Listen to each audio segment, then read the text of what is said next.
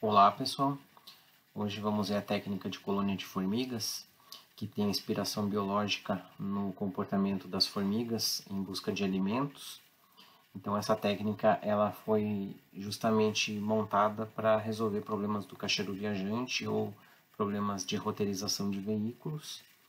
Então a técnica ela tem a ideia justamente do comportamento das formigas que quase sempre são cegas então, elas buscam o alimento do formigueiro até a fonte de alimento. Então, esse experimento feito em 1990 é, justamente comprovou o comportamento das formigas quando você coloca duas pontes que têm ah, o mesmo tamanho, as formigas elas se espalham até que um momento elas encontram um dos caminhos, elas decidem um dos caminhos e fazem essa trilha. Agora, se você coloca um caminho mais curto que o outro, as formigas elas tendem a buscar a menor rota. Então, elas tendem a usar essa ponte menor ao invés de usar essa que tem um comprimento maior. Então, essa aqui é a ideia da técnica de colônia de formigas. Então, elas vão depositar o feromônio, justamente porque elas são quase cegas. Então, elas vão fazer essas trilhas onde elas vão conseguir fazer o, a roteirização até chegar no caminho mínimo para resolver os problemas de otimização. Então as formigas elas vão usar uma probabilidade para fazer esta decisão de caminhos que nós vamos ver a seguir. Então a ideia é a seguinte, nós temos o problema do cacheiro viajante, por exemplo aqui de cinco cidades, então nós vamos começar Cada formiga vai começar de uma das cidades e vai decidir probabilisticamente qual que vai ser a próxima cidade até formar a rota completa. Então a ideia de fazer a probabilidade vai ser feita com essa fórmula. Então a probabilidade da formiga K escolher o arco IJ vai ser feito pela, é, pelo feromônio multiplicado pela é, constante de atratividade do arco IJ. Esses dois elementos vão ser elevados a alfa e beta, que vão ser parâmetros. Essas, esses parâmetros vão determinar a influência do feromônio e da, do cálculo em relação à função objetivo, que é feito com essa constante eta. Depois nós vamos dividir pelo somatório de todos os produtos entre os feromônios e essas constantes de atratividade dos arcos ainda não visitados das rotas. Então essa aqui vai ser a técnica para fazer a probabilidade. Então esse NJ vai ser o conjunto dos vértices ainda não visitados da, da rota. E nós vamos fazer para o problema do cacheiro viajante, esse eta IJ vai ser o inverso do custo IJ. Dessa forma, como o problema de caixeiro viajante é de minimização, quanto menor vai ser o custo, mais atrativo vai ser o arco IJ. Então nós vamos fazer também outra simulação que vai ser da evaporação dos feromônios. Então essa evaporação vai ser feita com este termo. Então o tal IJ, ele vai ser 1 menos ρ, vai ser a, o ρ vai ser a constante de evaporação, vezes o tal IJ, e nós vamos ter o depósito do feromônio também, que vai ser ah, onde nós vamos fazer a ideia de que se a formiga K usou o arco IJ, nós vamos fazer Q dividido pelos, pela solução encontrada pela formiga K para fazer o depósito do feromônio nestes, é, nesta atualização dos feromônios tal e J.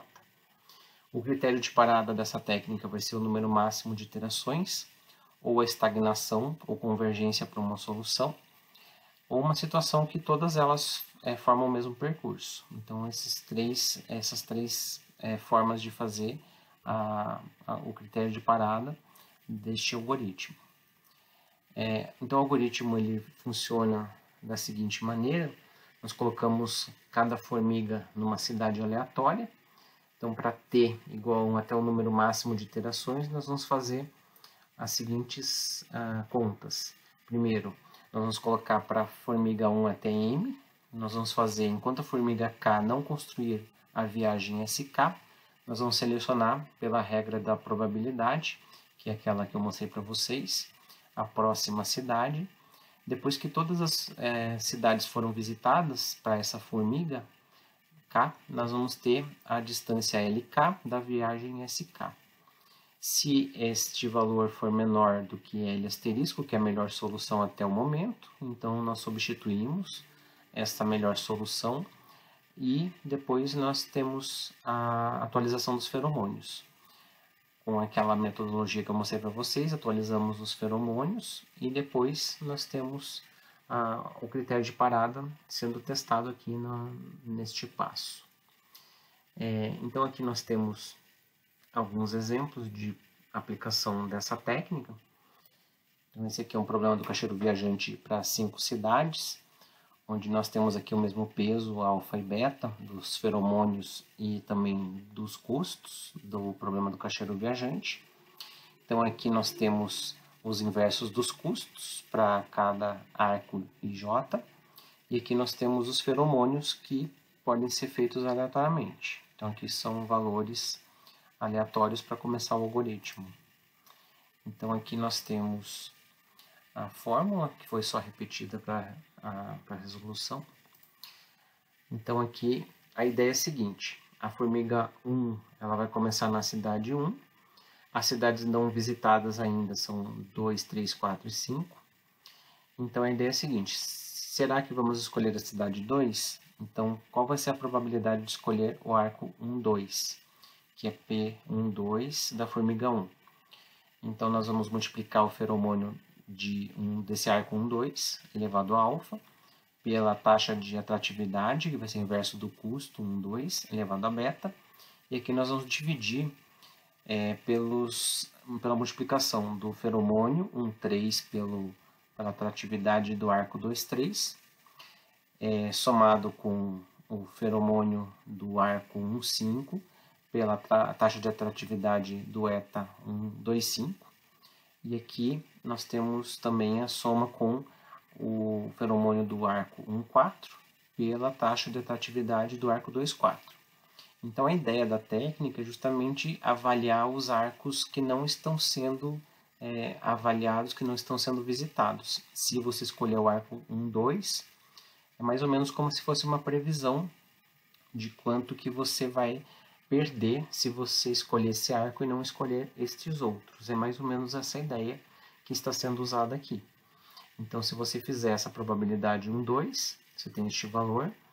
Da mesma forma, nós vamos avaliar se é mais vantajoso escolher o arco 1, 3, 1, 4 e 1, 5. Nesse caso, nós temos 5 vértices. Então, fazendo estes cálculos, o melhor, a melhor opção seria fazer o arco 1, 2 mesmo, então aqui nós temos que a formiga 1 vai da cidade 1 para a cidade 2. Daí nós temos a próxima, o próximo conjunto N, que vai ser 3, 4 e 5. Então nós podemos guardar esses valores numa tabela de probabilidades, que fica mais fácil de controlar a técnica. Então ele vai da cidade 1 para a cidade 2, depois nós vamos para a cidade 2 ver quais são as probabilidades das, dos vértices ainda não visitados, que são o 3, o 4 e o 5. Então, fazendo os mesmos cálculos aqui com a mesma fórmula, com essas cidades ainda não visitadas, nós temos que é mais vantajoso escolher o arco 2, 3, que é a maior probabilidade. Então, escolhidas as probabilidades, nós já podemos guardar também aqui os valores das variáveis de decisão x e j. Então, aqui foi escolhido o arco 1, 2, o arco 2, 3. Então, aqui nós vamos poder colocar os valores 1, que são as variáveis de decisão desses arcos escolhidos. Então, da formiga 1 vai para a cidade 2 para a cidade 3. As cidades não visitadas são as cidades 4 e 5. Fazemos os cálculos aqui, nós temos que a melhor probabilidade é da cidade é, 5 ser visitada. Então, o arco 3, 5 foi escolhido. Depois, é, por falta de opção, né, a última opção seria da cidade é, ir para a cidade 4, né, o arco 5, 4, depois do 4, 1. Então aqui nós temos essa solução para a formiga 1. Então o fechamento da rota foi feito aqui. Nós temos o custo é, calculado dessa rota, que é 1, 2, 3, 5, 4, 1, que é 9,8. Então assim nós temos a primeira rota da primeira iteração. Depois fazemos a mesma coisa com a formiga 2. A formiga 2 começa na cidade 2. As cidades não visitadas são 1, 3, 4 e 5. Fazemos os cálculos das probabilidades e vamos guardando na matriz. Então, começamos na linha 2 para a formiga 2. A melhor probabilidade aqui seria o arco 2, 1. Este arco foi usado. Depois a formiga 2 vai para da cidade 2 para 1 e fazemos as mesmas contas para ver qual que é a próxima cidade da rota. Então, da cidade 1, nós temos as probabilidades da cidade 3, 4 ou da cidade 5 serem escolhidas. A melhor probabilidade é da, do arco 1, 3. Então, do arco 1, 3 aqui, nós temos a, esse arco na rota. E assim até o final. Né? Chegando no final aqui, nós temos esses dois últimos arcos faz, fazendo a solução 2, 1, 3 5, 4. O custo dessa rota é 10,8 e fazemos isso para a formiga 3, para a formiga 4 e para a formiga 5. E assim nós vamos guardando todos os arcos usados por essas formigas para fazer aqui no final a atualização dos feromônios. Então aqui primeiro nós calculamos os depósitos dos feromônios de cada formiga Fazendo Q igual a 1, é só fazer o inverso do custo de cada rota, de cada formiga. Então aqui nós temos as, é, os é, parâmetros para a gente fazer a atualização des, destes depósitos de feromônios para cada formiga. Então depois nós vamos avaliar quais são as formigas que usaram o arco 1, 2. Então fazendo aqui a recuperação, as formigas 1, 4 e 5. Então aqui a formiga 1, usou esse arco, 1, 2, a formiga 2. Então, todas as formigas que usaram esses arcos aqui, elas vão ter essa contribuição aqui. Então, as formigas 1, 4 e 5, elas usaram esse arco 1, 2, então nós fazemos a atualização do feromônio fazendo a evaporação primeiro, que é 1 menos meio vezes o 0,3, que é o feromônio da primeira iteração, mais os depósitos das formigas 1, 4 e 5. Então aqui nós temos esses depósitos e nós temos a nova, é, o novo feromônio das, desse arco 1, 2. Depois o, arco 1, 3 é usado só pela formiga 2. Então aqui nós temos só o depósito da formiga 2 e também a taxa de evaporação aqui que é meio. O arco 1,4 não foi usado por formiga alguma, então só tem evaporação e o arco 1,5 foi usado pela formiga 3. Então só temos aqui a contribuição da formiga 3, que seria esse valor aqui. Depois vamos avaliar os outros, arco 2,1, arco 2,3, 2,4, 2,5, depois os arcos 3,1, 3,2 e assim sucessivamente. Dessa forma aqui nós temos a nova matriz de feromônios e podemos continuar fazendo a próxima iteração. Então assim nós temos a segunda iteração que pode ser feita da mesma maneira. Nós temos aqui as formigas, primeiro começando a formiga 1 na cidade 1, nós temos as, a, os cálculos de probabilidades e assim sucessivamente. Nós temos assim a formiga 2 começando na cidade 2 e na, a, a resolução é feita dessa maneira. Agora vamos ver outra aplicação da técnica de colônia de formigas em problemas da pesquisa operacional. Então, a resolução do problema da mochila pode ser feita com essa técnica, com algumas adaptações que nós vamos ver. Então, a primeira adaptação é em relação à atratividade. A atratividade eta, ela vai ser calculada, ao invés de ser o inverso do valor de cada produto, ela vai ser calculada como inverso do máximo mais um menos o valor de cada objeto. Dessa forma, os objetos com maiores valores, eles vão ter atratividade 1 e os outros vão ter atratividade proporcional. E outro, outra mudança é em relação aos índices, nós não vamos ter dois índices para cada parâmetro de feromônio e de atratividade. E a técnica vai funcionar basicamente da mesma maneira. Então aqui nós vamos ter alfa e beta, os dois iguais a 0,5. E vamos começar com a formiga 1 carregando o objeto 1. O conjunto N vai ser dos objetos ainda não carregados pela formiga. E vamos sempre verificar antes se existe espaço na mochila para carregar os próximos objetos. Então nesse caso vamos fazer a diferença de 20, que é o peso máximo, menos o primeiro objeto que a formiga está carregando, que é o objeto 1, que deu 16, então podemos avaliar se a formiga 1 vai, vai carregar o objeto 2, o 3, o 4, o 5 ou o 6, com a fórmula é, sendo calculada da mesma maneira. Então vamos fazer é, eta 2 elevado a alfa, vezes é, tal 2 elevado a beta, dividido pelo somatório de tal 3 elevado a alfa, eta 3 elevado a beta e assim até tal 6 elevado a alfa vezes eta 6 elevado a beta, que são sempre os feromônios multiplicados pelos é, valores de atratividade de cada é, objeto. Então, fazendo esses cálculos para os objetos que não foram ainda carregados pela formiga, nós podemos decidir aqui pela maior probabilidade que ela vai carregar o objeto 5. Então, além do objeto 1, ela vai carregar o objeto 5. Depois nós temos o conjunto n sendo atualizado aqui. Nós temos n igual a 2, 3, 4, 6. Verificamos se existe espaço ainda na mochila. Nesse caso aqui seria P menos P1 menos P5, que dá 10.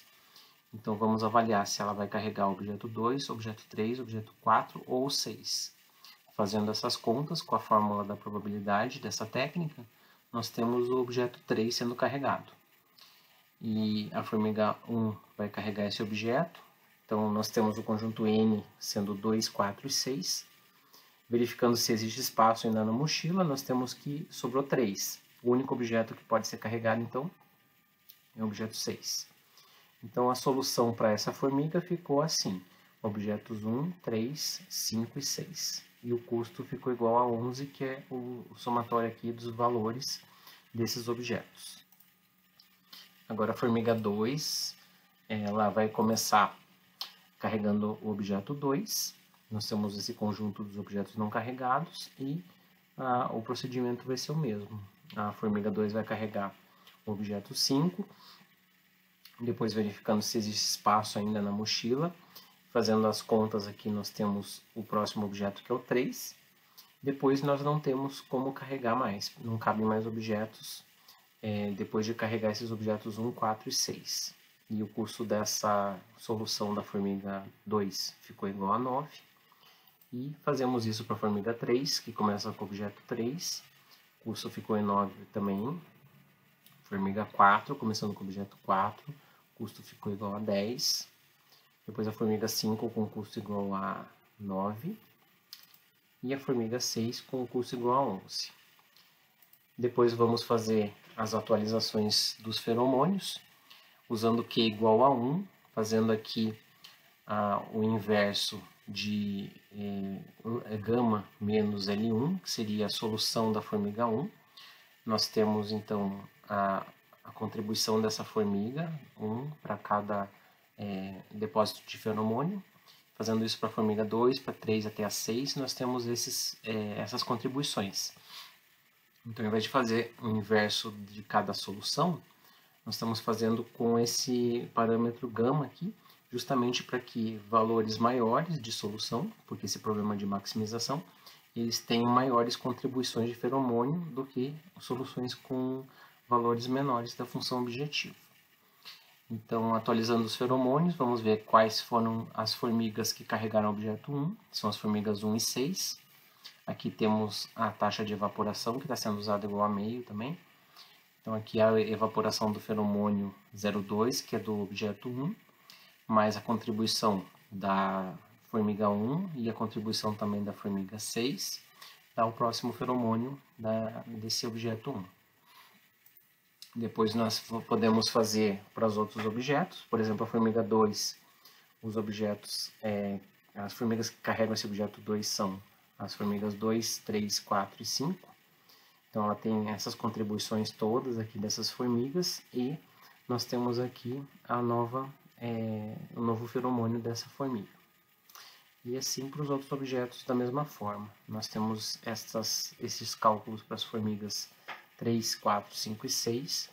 E assim nós temos os novos feromônios. Aqui são as taxas de é, atratividade que são mantidas e assim nós temos a próxima iteração. Começa com a formiga 1 carregando o objeto 1, fazemos os cálculos das probabilidades e assim sucessivamente, até que o número máximo de iterações seja alcançado, ou então que todas as formigas fiquem com a mesma solução.